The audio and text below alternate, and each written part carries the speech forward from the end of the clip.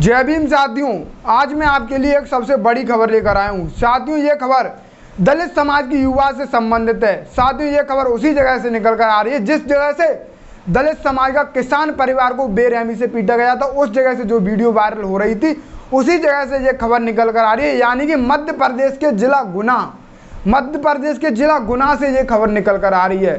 साथियों, मध्य प्रदेश का जिला है जो कि गुना जिला है, वो वास्तव में ही गुना का गढ़ बन चुका है। दलित समाज के व्यक्तियों पर उस ज़िले में हद से ज़्यादा उत्पीड़न व अत्याचार हो रहे हैं।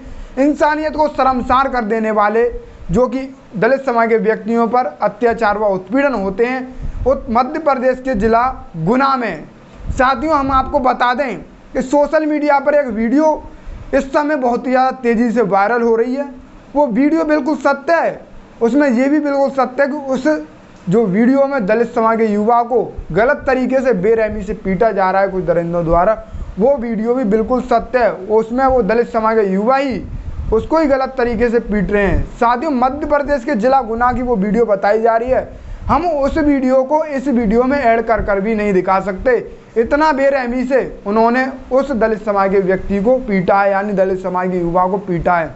साथियों सबसे पहले उस दलित समाज के युवा को युवा पर चोरी का आरोप लगाते हैं। चोरी के आरोप में उस दलित समाज को बेरहमी, दलित समाज के युवा को बेरहमी से पीटते हैं। बेरहमी से इतना पीटते हैं कि जब तक पीटते हैं, जब तक वो युवा बेहोश नहीं हो जाता। बेहोश जब वो युवा हो जाता है, बेहोश होने के बावजूद भी वो गलत सोच रखने वाले अपराधी उस युवा को छोड़ते तक नहीं हैं। उस युवा को फिर उसके गले में गमछा डालकर उस युवा को पूरे रोड पर घसीटते हैं और जो उस वीडियो को बना रहे थे, देख रहे थे और वो ये बोल रहे थे कि इस युवा को छोड़ो, इसकी यानी कि ये मर जाएगा। साथियों, उसको अधमरा कर दिया, वो इतना मारा, बहुत ही ज़्यादा गलत तरीके से उसके ऊपर उत्पीड़न किया, अत्याचार किया मार पीट की चार पाँच जो कि अपराधियों ने मिलकर। तो साथियों, आप एक बात बताइए, जो कि मध्य प्रदेश के जिला के, मध्य प्रदेश के जिला गुना से इतनी बड़ी बड़ी इंसानियत को शर्मसार कर देने वाली दलित समाज के व्यक्तियों पर हो रहे उत्पीड़न की वीडियोज़ सोशल मीडिया पर वायरल हो रही हैं, पर ऐसे आरोपियों पर कोई कार्रवाई क्यों नहीं होती है? बड़ी कार्रवाई क्यों नहीं होती है?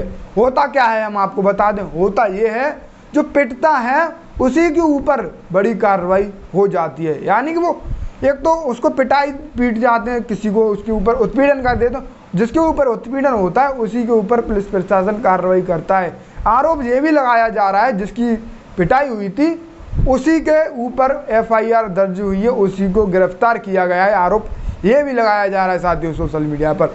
आप साइड में एक अखबार की कटिंग देख पा रहे होंगे, इसमें साफ़ साफ़ देख पा रहे हूँ, दलित समाज का युवा ज़मीन पर किस तरीके से बेबस डला है, उन अपराधियों के सामने, उन दबंगों के सामने किस तरीके से डला है, और एक दलित समाज के युवा को अकेले मिलकर इस तरीके से बेरहमी से पीटना है कोई इंसानियत नाम की चीज़ नहीं है, इन इनके अंदर। तो साथियों, आप इस वीडियो को ज़्यादा से ज़्यादा शेयर करें। इस दलित समाज की युवा की मिलकर आवाज़ उठाएँ।